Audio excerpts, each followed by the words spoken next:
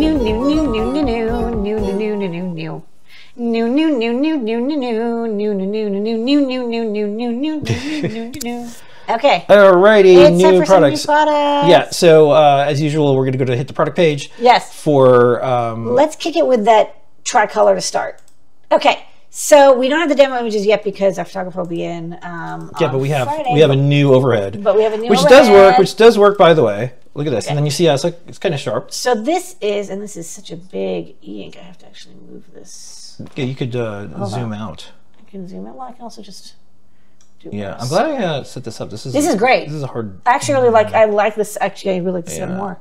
Yeah. Okay. Good. Not a mistake. Great. Um, really big uh, e-ink display. So 800 by 480, and you can see my hands for scale. This is the tricolor version. We had the monochrome version before. Um, this one's tricolor, so you get um, black, white, and red. And what I love is like at this seven and a half, it actually does. I'm not saying that the other ones are really good paper, but it's like you get the pixel density and the pixel resolution. You're actually able to really show images. Um, and they look very, very good. So it's not just like a little Yeah. pixelated. The color ink displays. So uh, one of the projects that I'm doing is taking the news headlines and making images out of the news and making it look uh, nice on e ink displays because I don't want to read words. I just want to see a bunch of pictures. Yeah. So um, some days I look at the e-ink display news and I'm like, you know what? I'm gonna skip today. Like it was like a bunch of needles and a bunch of things on fire and like a gavel on fire and like two gavels stuck inside each other. And I go, you know what? I'm gonna skip today. Um, not really, but it's just like it's just a like emotional version of the news. It's like here's everything going. You know, some days you once in a while you see the uh, skateboarding dog on there. It's like what? And there's a skateboarding dog. But anyways, the screen looks great. You can finally And do we're these. That's we can one of the finally do these projects. That's Yeah. project we're going to use. Uses the standard 24 pin connector. So if you have um, one of our uh, Think Ink driver boards, we always use the same connector. It plugs in directly. We have driver code. Um, we actually have it in Arduino and CircuitPython Python. So you could use it with like a Raspberry Pi. You can use it with a CircuitPython board. You can use it with Arduino. So um, if you're using it with some other system, you'll use you'll need something with uh, UC8179. Um, but I really love this display. This is just the raw display, so yeah, don't forget you need something to drive it. But uh, we have lots of drivers in the store that you can plug this into, and we're we're starting to collect a, you know a bunch of raw making it is displays. we're making it as easy as possible. The only reason you'd want to do other e-ink is if you don't like saving time. saving time and money. money. Okay, and, then and- let's go to the next one. And this is going to Yeah. be. Ba- Go in the ba- ba- background. ba- ba- ba- Yeah. Oh, do you want to the um, computer? Do you want to what do you want to do? um, go to the new product page and we'll Yeah. Well, you have formalize it? Yeah, you have you have these. So this is the one that you showed, right? Yeah. And then uh, you've So you got. wanna- You want us to show this? Yeah, so can we flip to the computer from the overhead? Yeah. Yeah. You want to show that? Yeah, and I'll talk about that and I'll, and I'll, and I'll jump back to the overhead again. Gotcha. Yeah. Okay, cool. Um, so we also have a quad 3.52, 340 by 180 quad ink display. So the one you just saw was white background, black pixels, and red pixels. Okay, so now go to the overhead. Yeah.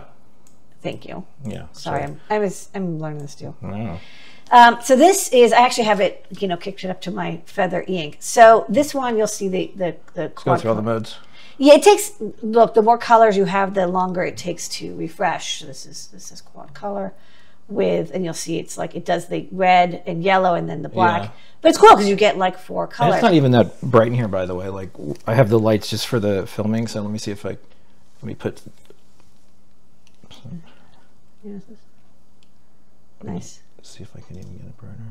Kind of see. It's pretty good. And then yeah, it has its own light. well, I mean, it's yeah, it's Is good. this the light on the top one? Is the top one light? I don't know. Right. Yeah, now it is. There you go. Okay, so actually, let me unplug this. Okay, so then. Um, Yeah, show it even yeah. more. So this is ju- it's showing um, four squares, so you can see like the yellow, black, red, and white pixels. This is a, a different chipset. This is like the JD six one one seven nine or something. We have um, support for this also in uh, Arduino, CircuitPython, and MicroPython. Yeah. Oh, that's that's big. And then this is autofocus on It the it- side. Is- uh, is it autofocusing? You have to click this. Okay. And then, There you go, Okay, and then it, then it focus locks. and then it focus locks. Okay. That's Yeah, I have the focus lock on. All right, that's really good. Now move the board down too.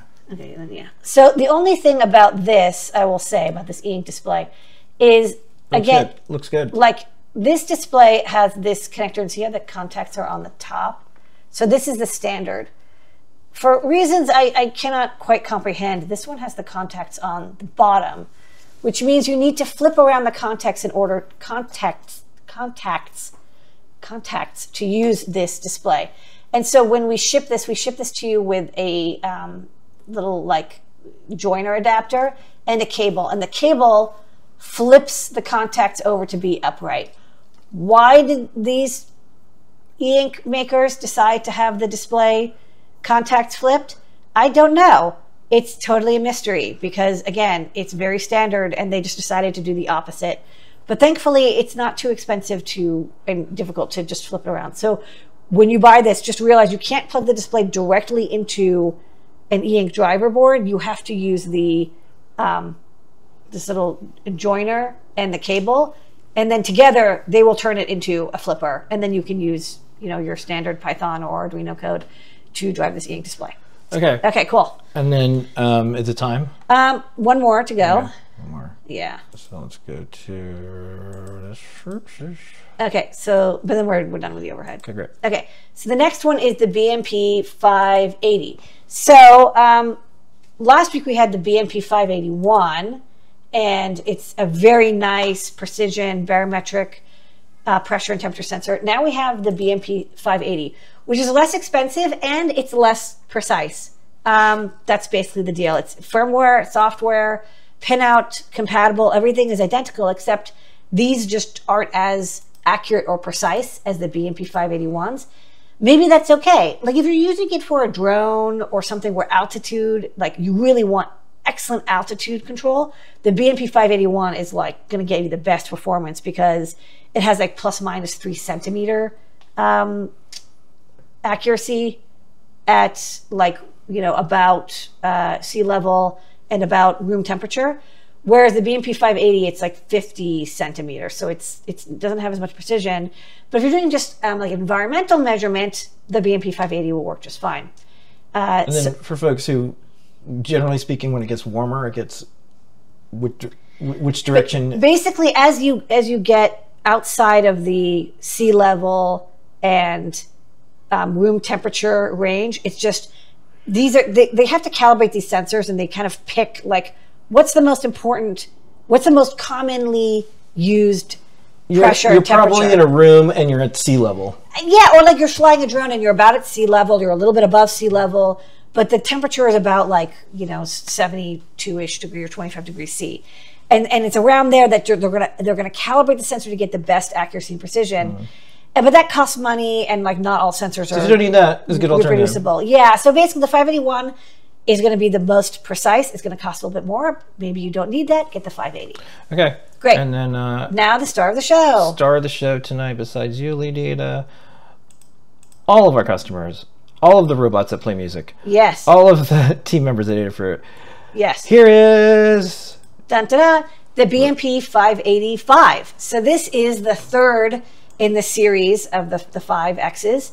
So all of these, um, again, are, are all code compatible. This is cool. We can we have an electron microscope going here. We can, we can yeah. Well, I, they, we have an even higher resolution ones, but I just wanted to, to put that in. nice. Yeah. Um, so this is a ported sensor. So the other ones, you know, they're enclosed or they have a microscopic hole so that they can measure, um, you know, ambient. But let's say you want to have this be underwater, or you want to have um, a tube that connects to an outside port, or you want this again, maybe you're using this for um, like a drone or something where you don't want the sensor exposed to air, you would um, the whole the whole body of the electronics exposed to air. And with this, you can connect a tube up to the port and um, connect a little O-ring onto it. Uh, and then can you, can you go back up one because this one will show the port really well. Yeah, it sticks up, and there's a little. You can see there's a little groove for an O-ring. Um, you connect an O-ring. I tried to make a little bit of room around it for the tube, and then you can have the tube go out to anywhere and measure um, barometric pressure, and then the temperature would be um, for whatever air is closest to the sensor itself. And um, this has the same kind of accuracy precision as the BMP 580, but again, it's ported. And what's nice is it's a lot less expensive than other ported sensors, to be honest. Um, usually these are quite expensive, but for the accuracy precision, you're going to get a very nice sensor. And um, I think this is maybe one of Bosch's first ported sensors. I don't think they made a lot of these, so I'm glad they came out with a variant um, that works with this. Also, shout out to Bosch. Somehow I'm selling their sensor, looking their sensor. You're writing code for their sensors. I use a Bosch microwave. I have a Bosch dishwasher, and one of the tools I really like, uh, only Bosch made it in Europe, and I had to get like a special thing. It's a saw thing. Anyways, Bosch, go Bosch. Yay, somehow, Germany. somehow Bosch is all up in my business all the time. Everywhere I go, I see Bosch. Okay. However, here's the one thing. Yeah. If anyone out there has a Bosch microwave, you have to hold clear and off and then the settings button at the same time if it goes into demo mode. Because if you just walk by it, it goes in demo mode. Wh- wh- whoever designed it, it instantly goes in demo mode. To, I- to be fair, like I bump it with my butt, and I think I put it in demo mode by accident. but like when you just walk by and brush up against it, somehow we're just lucky enough where it just happens to hit the exact thing. So, anyways, our little uh, pro tip. We don't use a microwave that we're, we don't usually use microwaves. But when we do, What we do, we're just like, well, it's been in demo mode. I guess that's why it has never gotten warm. Why is it warm? yeah. Okay, All right, All right that's, that's new products. Yeah.